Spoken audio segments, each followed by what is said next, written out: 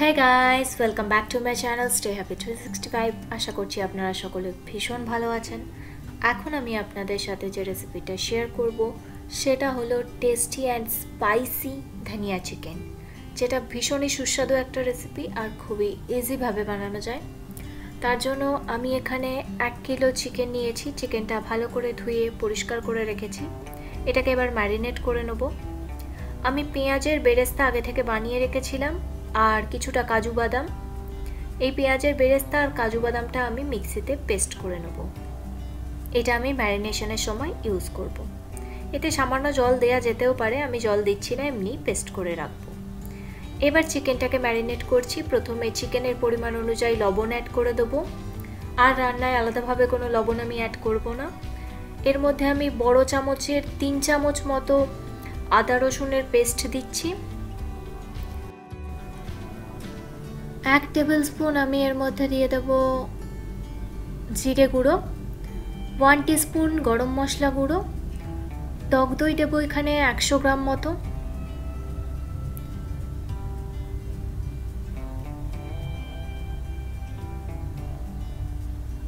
লেবুর রস দিয়ে দেবো, গোটা একটা বাদি লেবুর রস আমি এখানে দিচ্ছি।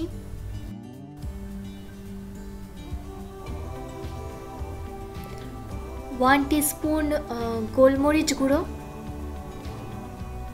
ওয়ান স্পুন ধনে পাউডার ধনে গুঁড়ো। এবার এই সমস্ত মশলাগুলো আমি চিকেনের মধ্যে ভালো করে মাখিয়ে নেব।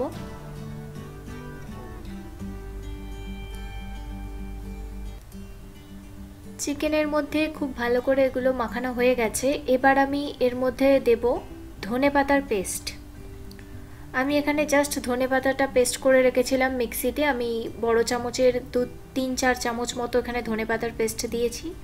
আর পেঁয়াজ আর কাজু বাদামের যে পেস্টটা বানিয়ে রেখেছিলাম, পেঁয়াজ, ভাজা আর কাজু বাদাম, সেই পেস্টটাও আমি এর মধ্যে দিলাম। এবার আমি আবার মাংসগুলোকে চিকেনের পিসগুলোকে ভালো করে এই মশলার সাথে মিশিয়ে নেব। আর এক ঘণ্টা মতো এটা আমি ম্যারিনেট করে রেখে দেবো। এক ঘণ্টা পর আমি চিকেনটাকে রান্না করব। তো মাখিয়ে নেওয়া হয়ে গেছে, এবার এটা আমি রেখে দেবো এক ঘণ্টা।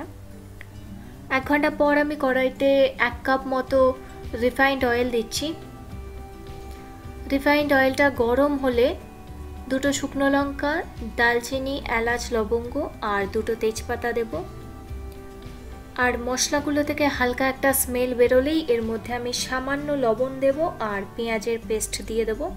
এখানে আমি দুটো বড় মাপের পেঁয়াজ পেস্ট করে রেখেছিলাম, সেই পেস্টটা দিলাম। আর লবণটা দিয়েছি যাতে পেঁয়াজটা দেওয়ার পর তেলটা ছিটকে না আসে। তো পেঁয়াজটা আমি দু থেকে তিন মিনিট ফ্রাই করে নিয়েছি হাই ফ্লেমে। তারপর এর মধ্যে আমি টমেটো কুচি দিলাম, দুটো বড় মাপের টমেটো কুচি। টমেটোগুলো যতক্ষণ না সফট হচ্ছে আমি এটাকে এভাবেই রান্না করব। টমেটোগুলো সফট হয়ে এসছে। এবার আমি এর মধ্যে ম্যারিনেট করা চিকেনটা অ্যাড করে দেবো। ম্যারিনেট করা চিকেনটা দেওয়ার পর ফ্লেমটাকে আমি মিডিয়াম করে দেবো, কারণ হাই ফ্লেমে রান্না করলে চিকেনগুলো শক্ত হয়ে যেতে পারে। তো আমি মিডিয়াম ফ্লেমে এটাকে সাত থেকে আট মিনিট মতো সমানে নাড়াচাড়া করতে করতে কষিয়ে নেব। চিকেনে আমি এখনই কিছু জল দেব না। যতক্ষণ না চিকেনটা থেকে জল বেরোচ্ছে, ততক্ষণই আমি চিকেনটাকে এভাবেই নাড়াচাড়া করতে করতে রান্না করে নেব।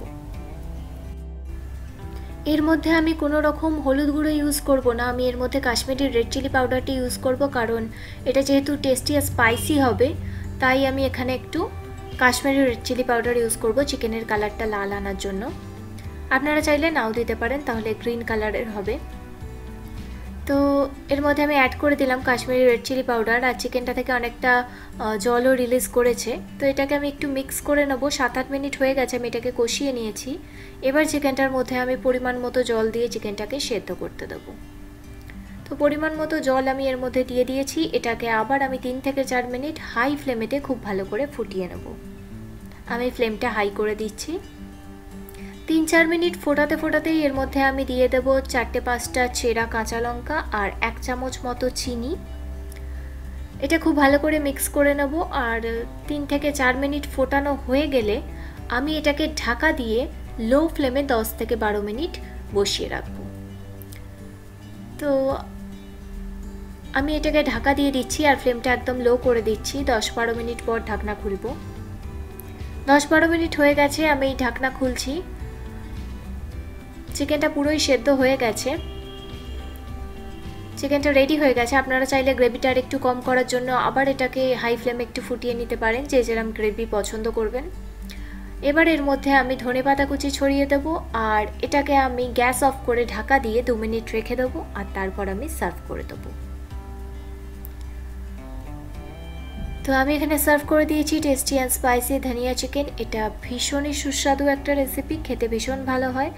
আপনারা অবশ্যই এই রেসিপিটা বাড়িতে ট্রাই করবেন আর আমায় কমেন্ট বক্সে জানাবেন এটা কেমন খেতে হয়েছে। আর আমার এই ভিডিওটা যদি ভালো লেগে থাকে, তাহলে লাইক শেয়ার কমেন্ট আর সাবস্ক্রাইব করতে একদমই ভুলবেন না। আর রেগুলারে নতুন নতুন ভিডিওর আপডেট পাওয়ার জন্য নিচের বেল আইকনটাও প্রেস করে দেবেন।